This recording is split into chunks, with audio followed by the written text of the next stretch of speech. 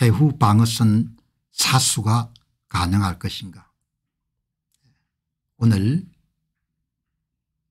이병화 주 노르웨이 대사를 지내셨던 분의 페이스북을 보니까 평소에 이렇게 시국하고 선거에 대해서 옳은 소리를 자주 하시는 이 배진영님 필력도 아주 뛰어나신 분입니다.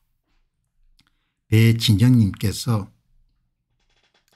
뭐참 나라 걱정하는 그런 글을 기고를 했네요. 핵심 메시지는 박근혜 전 대통령이 이제 억울하게 탄핵을 당할 때 그 탄핵이 가져올 수 있는 그 후폭풍이 얼마나 이름 크고 대단할 것인지를 많은 국민들이 놓친 것 같은데 그건 참 잘못된 일이 아니냐. 꼭 예, 같은 일로 예, 미우나 고우나 이번 총선에서 만일에 대표를 하게 되면은 그 후폭풍이 얼마나 크겠느냐. 윤 대통령은 안전하겠냐. 탄핵당하지 않겠냐. 그러니 뭐 좀 섭섭한 점이 있더라도 힘을 모아야 안 되겠느냐. 뭐 그런 이야기를 이렇게 기고를 하셨네요. 여기 보시면 아주 글을 잘 쓰셨습니다. 박근혜 전 대통령 탄핵 당시에 박 전 대통령만 외과 수술적 타격으로 권좌에서 끌어내리면 대한민국은 아무 일 없었다는 것처럼 다시 정상적인 헌정으로 복귀할 것이라고 생각한 자가 있었다면 그는 틀림없이 대한민국의 이념적 내전 상황에 대해 무식한 자였을 것이다. 맞는 이야기죠. 아니나 다를까 그들이 권력을 쥐었을 때 문재인 정권은 촛불 행명을 내세워 가지고 예, 모든 것을 밀어붙였고 그런 자신감을 바탕으로 20년 집권 100년 집권을 호언장담했다. 그리고 선거를 완전히 장악한 거지 않습니까 예. 그리고 윤 정권이 등장을 한 겁니다. 예. 윤 정권이 출범하자 하마터면 나라가 망할 뻔했다는 것을 다 잊어버렸다. 윤 대통령과 그의 척근들은 그들이 상대한 세력이 어떤 세력인지를 잊어버리고 인연을 허송했다. 예. 이거는 국민들이 할 수 있는 게 전혀 없었던 겁니다. 그건 대통령이 정신 차리고 해야 될 일이지 국민들이 여러분들 할 수 없는 겁니다. 국민들은 물을 마실 수 있도록 물가까지는 여러분들 인도하거나 끌어갈 수는 있었지만 물을 마실 거냐 안 마실 거냐는 대통령 자신이 결정하는 일이었죠. 예. 대통령에게 업소도 하고 호소도 했지만 그냥 본인이 마이웨이로 가신 거 아닙니까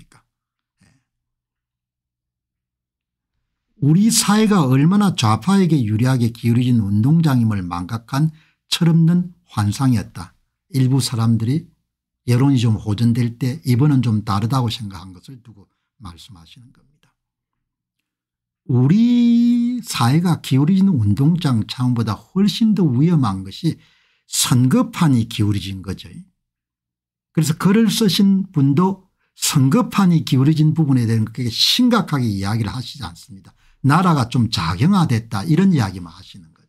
그러나 자경화 그 밑바닥에는 선거를 자경화된 것은 바로 세울 수 있을지 모르겠지만 선거판이 이런 기울어진 것을 바로잡지 못하면 그 모든 것을 할 수가 없는 겁니다. 그 말씀은 상당히 안 하시는 겁니다. 이종섭 황상무 건으로 선동이 시작되자 선거판은 순식간에 뒤집어지고 말았다. 벌써부터 4년 전보다 더 상황이 안 좋다는 죽는 소리가 나오고 있다. 다 예견된 결과지 않습니까 다 예상된 결과였고 혼전 상태의 여론을 조성하다가 한 달 전 정도 지름부터 슬슬 격차를 벌리기 시작했다가 특정 이벤트를 여러분들 기획하거나 특정 이벤트의 발생 전후로 해가지고 여론을 확 뒤집었다가 그 결과에 맞는 선거 결과를 주문자 상표 부착 방식 OEM 방식으로 만들어서 발표하는 것 그게 역대 선거에서 대부분 실행된 상황이었지 않습니까 반복되어 온 거. 그걸 누구든지 알지 않습니까 생각이 좀 깊은 사람들은. 그걸 알면서도 누가 일을 안 했습니까 국민들이 일을 안 한 게 아니고 대통령께서 아무 일도 안 하신 겁니다. 예. 그 대통령이 어려움을 당하게 되면 은 그럼 본인이 자초한 거지 국민들이 한 건 아니라는 거죠. 예. 그렇지 않습니까 예. 여기 이제 오늘 안타까운 마음에 배진영님께서는 뭐 그럼에도 불구하고 우리가 뭔가를 해야 된다 이렇게 말씀을 해야겠죠. 이번에 좌파 세력이 다수 의석을 차지하면 그들이 점잖게 의회 민주주의를 하면서 다음 대선까지 기다려주겠습니까 그럴 리가 없습니다. 더욱이 지금 야당 및 그 동조 세력의 대표 후보들 가운데는 사법 리스크를 안고 있는 이들이 수두룩합니다. 이들은 자신들의 생존을 위해서라도 다수당의 힘을 믿고 탄핵 쿠데타를 다시 시도할 것입니다. 벌써부터 박지원 등은 탄핵을 입에 올리기 시작했습니다. 그게 안 되더라도 최소한 윤 정권을 반신불수로 만들어버린 후에 다음 대선의 승리를 모셔갈 수도 있습니다.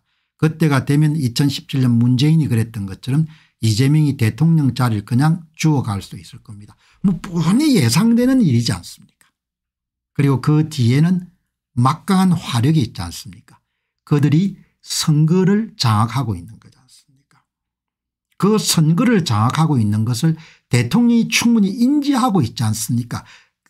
그럼에도 불구하고 아무 일도 안 한 거 아닙니까? 아무 일도 할 의지가 없는 거지 않습니까? 그 사람을 국민들이 어떻게 이런 보호해 주겠습니까? 그 사람들이 고난에 처하게 되면 뭘 가지고 그 사람을 보호해 주겠습니까? 누가 그 사람을 보호하려고 나서겠습니까? 보호하려고 나선다 하더라도 보호해 줄 수가 없고 할 수가 없는 겁니다. 본인이 자초했기 때문에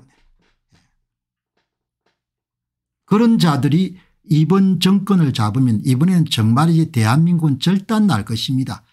그리고 최종적으로 그걸 제도하는 자유가 삭제되고 사람 중심이 전면에 등장하는 새로운 헌법이 제정될 겁니다. 뻔히 보이지 않습니까 그 사람들이 선거를 장악하고 있는 겁니다. 예. 하나도 새로운 게 없는 겁니다.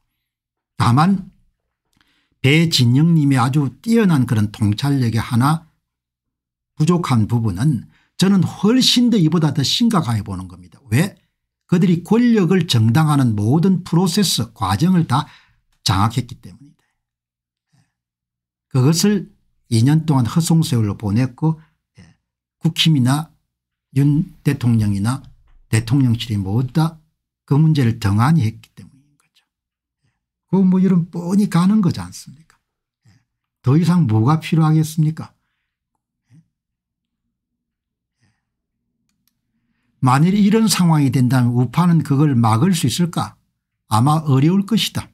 김대중 노무현 시절에 싸웠던 우파는 이제 80대 노인이 되었고 그 시절 20대 30대였던 청년 우파들은 싸움에 지치고 문재인 정권 시절 적폐청산의 트라우마와 우파 정권의 홀대 때문에 냉소적이 되어버린 5060대의 생활인이 되어버렸다. 한국인들이 많이 변한 겁니다. 지금 저 세대 이 사람들은 저항하는 정신을 갖고 있고 저항하는 기억을 갖고 있는 거죠. 젊은이들은 전혀 관심이 없는 겁니다. 예, 그냥 본인한테 도움이 되면 좋은 거고 도움이 안 되면 좋지 않은 겁니다. 공, 공적인 이익을 위해서 저항하거나 이런 일은 한국인들에게 일어나기가 어려울 겁니다. 우리 한국인들이 그렇지 않았다.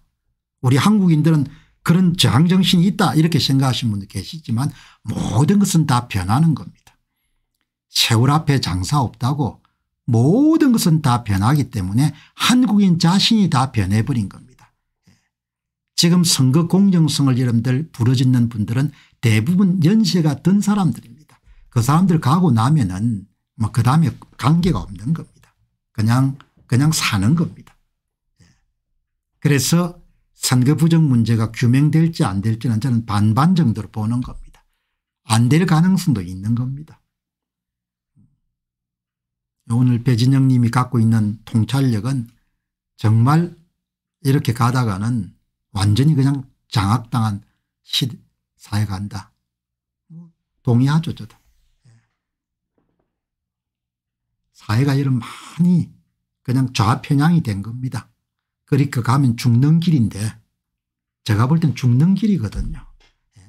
예. 모두가 뭡니까 열린 사이량에 달려가는데 배가 불려가 여러분들 역주행을 하겠다는 거 아닙니까 그러니까 그런 경고를 하시는 글이기 때문에 굉장히 소중하게 생각해 가지고 제가 말씀을 드리지만 조금 아쉬운 점은 선거를 그 사람들이 완전히 장악하는 데 성공했고 그 심각한 문제를 윤 대통령이 함구하고 은폐하기로 결정하는 순간 대한민국의 진로나 향방이라는 것은 너무나 여러분들 크게 결정이 돼버린 거죠.